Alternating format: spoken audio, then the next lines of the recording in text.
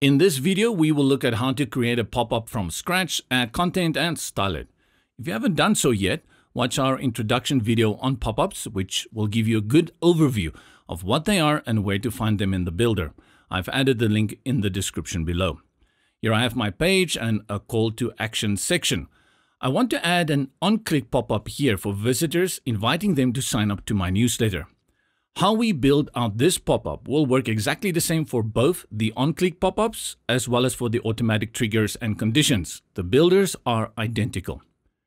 Click on the button, then go to the link icon and select from the dialog box pop-up.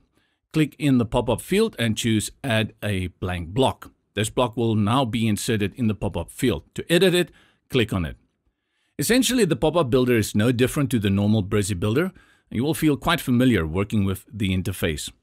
You have your block or pop-up canvas and in the middle your content area.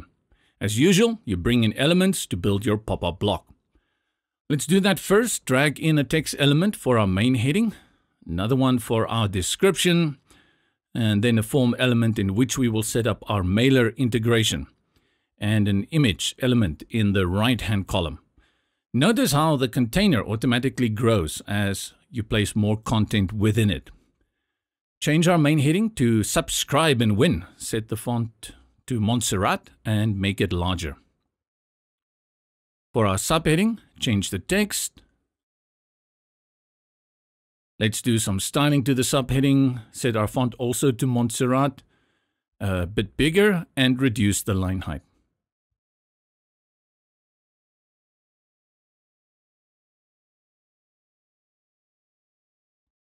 Up next, our good friend the form element, which we will integrate with a mailer extension like MailChimp, Campaign Manager, MailerLite, or any of our current integrations.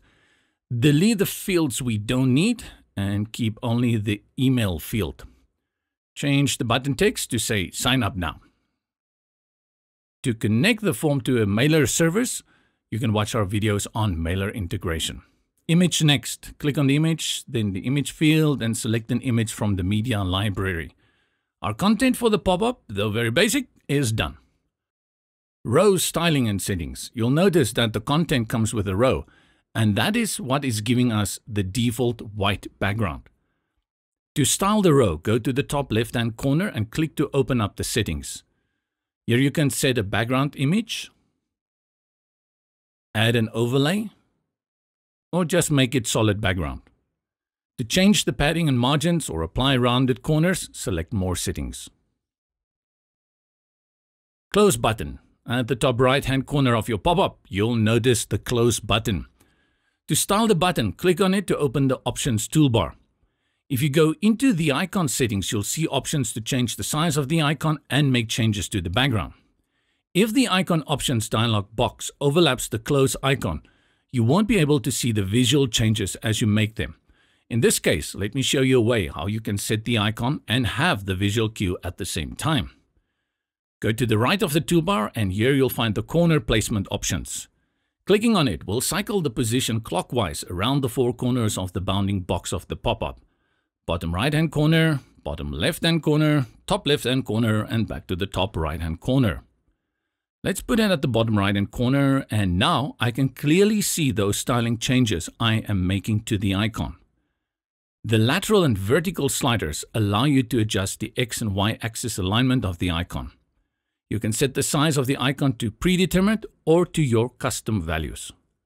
Before we work with the icon background, let's go and set the colors first. For the default state, let's put the icon color to this and the background is something that will nicely contrast. And then for the hover state, we switch them around. Hop back to the icon background sizing options, adjust the background size, and apply rounded corners. The last option for the close button is the choice between placing the button outside the pop-up row container or inside. Once you are done with all the styling to the close button, place it at the corner where you want it to appear. So far, we've looked at how to build a pop-up, applying styling to the row container and style the close button. To make changes to the overlay, we go up to the block settings. And here you'll be able to add a background image as you would with any other block. If you want no overlay, simply go to overlay and reduce the opacity to zero, making it fully transparent. I actually think this looks pretty good for this pop-up, so I'm going to leave it like this. But if you want an overlay with some transparency instead, it's as simple as removing the background image and the overlay and set your opacity. The overlay will always cover 100% of your screen. Within the pop-up block settings, you have additional options here on the placement of the pop-up itself. This allows you to determine the vertical alignment, bottom, top, and middle. The one next to it is for horizontal alignment, right, left, and middle. Set these two settings to place the pop-up strategically where you want it to appear on the overlay. You have additional control over the pop-up container sizing. Go to the block settings and click on the cog icon. The first option allows you to set the width in either pixels or percentage. Currently it is set at 1170 pixels. If you put it to percentage, you can easily have the pop-up cover 100% of the screen display width. Use the slider to adjust it to the width you want. Similar options apply to height. You can choose here between auto, which is the default. As you've seen, with this setting the height of the pop-up adjusts as you add content. On custom, you can choose again between pixels and percentage. If you just need it at full height, simply select full height from the drop-down box. Let's put it on full height to show you how the pop-up contents alignment option works. With the row container at full height, this option vertically aligns the content inside the row container to bottom, top or middle. Back to auto. Right, you have designed a good pop-up and you maybe want to use it again. Make sure to save it. Once saved, it will appear in the pop-up block library under saved and you can load it again when building future pop-ups and make content and styling changes where needed. And even better than saved pop-ups is the global save function. This allows you to not only save the pop-up, but when you use it at other places on your website, any changes you make to one pop-up will reflect in all the others linked to that global pop-up. This way you can make changes globally without the need to go and apply those changes to each and every pop-up respectively. Let's do it with this pop-up we've created. Go to the block settings, pop-up and activate Make it Global. You see the little globe icon appears, indicating that this pop-up block is now a global block. Exit the builder and go to another area on the page and add a pop-up. Select Global Pop-ups and insert the save pop-up by clicking on it. Same pop-up and again you'll notice the global icon. If you make a change now here, like adding an overlay to the background, it will also update the other instance of your pop-up. Let's go check. Indeed, it's synced very nicely.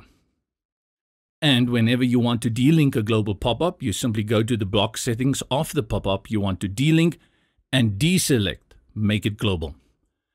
Now this pop-up will be independent again and won't affect the others that are still global. Just remember, once you've delinked the global block, you can't relink it to the global once again.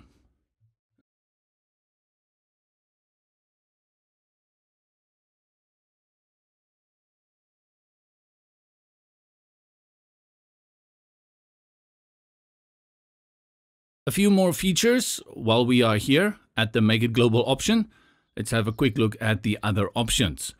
Scroll page behind will allow visitors to keep browsing and scrolling your page even with the pop-up present. This is typically the case when you want to place a cookies consent pop-up on your site. The Close tab has options to regulate how the pop-up can be closed. The first option allows users to click on the overlay area, which is the outside area around the pop-up, to exit the pop-up and close it. For this one, display close button, you'll mostly leave it checked. What you can do with the slider below it is to set a delay, which will delay the appearance of the close button. Let's set it to 3 seconds and see how it works. Save it and preview it on the front end. We click on the button, Pop-up appears, but hey, no close button. But wait, and three seconds later, there you have it. Use this strategically to avoid visitors closing pop-ups too quickly when they appear. This way you kind of force them to read it first before they can close it. Just don't put a crazy value like 10 seconds for the delay, as no one wants to wait that long. Let's just quickly talk about tablet and mobile responsiveness. As always, you have the ability to make changes to your pop-up responsively so that it will look good on other devices like tablets and mobiles. This is very important to check and check again. Otherwise, your pop-up won't display properly on a cell phone and may negatively affect the visitor's experience to your website. And remember this useful shortcut key, Control Command plus or minus on your keyboard. This will cycle through the various display options. In the video on triggers and conditions, we also look at how you can set a global automatic trigger, which will allow you to choose on which device the pop-up will display. And that's our wrap for this session. There is no other pop-up builder on the market like Brizy's, giving you full control and all the flexibility to build any pop-up you can imagine. Place it where you want to, including triggers and conditions. We know you will love it.